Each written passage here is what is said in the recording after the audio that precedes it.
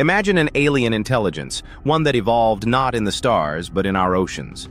No bones, no voice, no culture.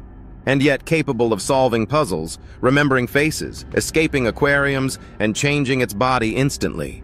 Meet the octopus, one of the most fascinating, mysterious, and underestimated creatures on Earth. This isn't just a story about a sea animal.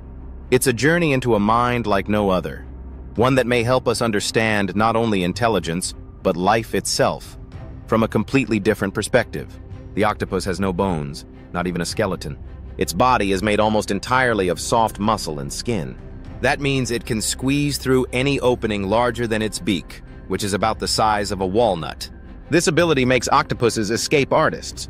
They've been filmed slipping through narrow tubes, escaping sealed containers, even crawling across aquarium floors to enter neighboring tanks. Each of its eight arms contains more neurons than the